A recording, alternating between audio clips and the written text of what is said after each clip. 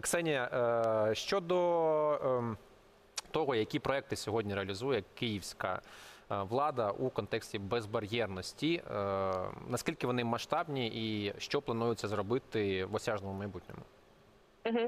Ну, власне, понад рік тому Київська міська рада прийняла рішення про дублювання підземних переходів наземними тих місцях, де це не впливатиме значною мірою на трафік, там де вже є транспортні світлофори. Е, Але на жаль, за рік е, жоден із цих е, проєктів не був реалізований, тому е, моє включення радше не, не про те, що реалізовано, як про те, що не реалізовано. Е, Ось зараз на Богдана Хмельницького роблять наземний перехід. е, на перехресті з вулицею Чекаленка. Це один із із 40 переходів, які вже до цього часу варто було би почати реалізувати. Е, Так само в е, незрозумілому статусі зараз наземний перехід на метро університет, якого дуже давно вимагають кияни. Е, Це той перехід, яким користується величезна кількість людей, в тому числі і маломобільних. Е, Люди на кріслах колісних в принципі не мають жодної можливості перейти там дорогу. Е, І е, чому важливо говорити про це питання зараз? Тому що відбувається капітальний ремонт вулиці Пирогова, і цей капітальний ремонт е, мусив би відбуватися по державним будівельним нормам і включати в себе е, також або наземний перехід е, в тому місці, або пристосування підземного потреби людей з інвалідністю, Е, але цього не відбувається. На жаль, команда мера обходить державні будівельні норми, просто виключаючи із проекту е, ті речі, які е, вони не хочуть виконувати по державним будівельним нормам, якось із перекладанням бруківки на Богдана Хмельницького, як із підземним переходом на метро університет. Ще гірша ситуація зараз в місті Києві із доступністю укриттів для людей з інвалідністю.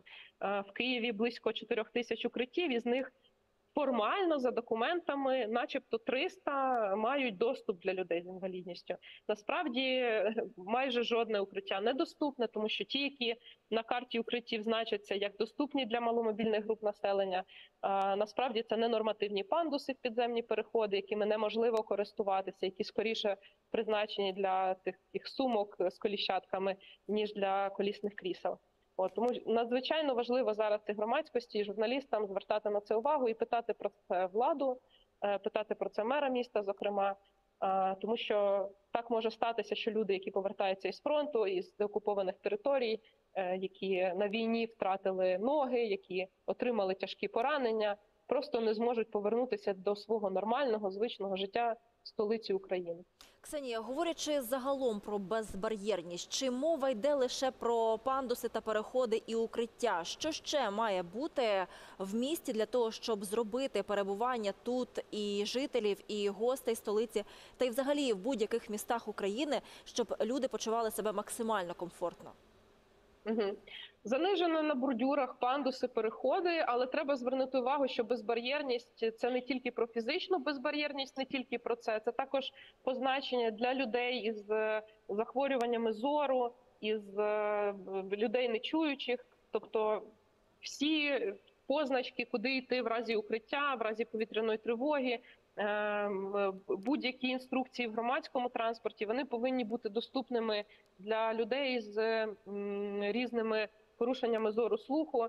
Також не варто забувати про е, те, що є люди із е, порушеннями ментальними, і для них, наприклад, важливо піктограми мати. Е, У нас досі в Україні немає затвердженого на державному рівні позначки, яка би значила укриття. Це також важливо і для дітей, які ще не вміють читати. От, тобто місту треба думати не тільки Києву, а й всім іншим містам по Україні про те, наскільки вони зручні для всіх, всіх, всіх, всіх, всіх категорій громадян.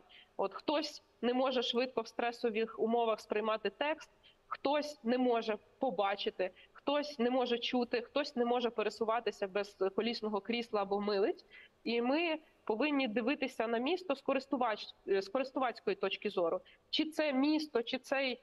Чи це вулиця, чи це приміщення, якийсь державний орган або місцевий орган влади, там соцзахист, не знаю, кінотеатр, е, лікарня. Чи вони доступні для всіх категорій, чи ні?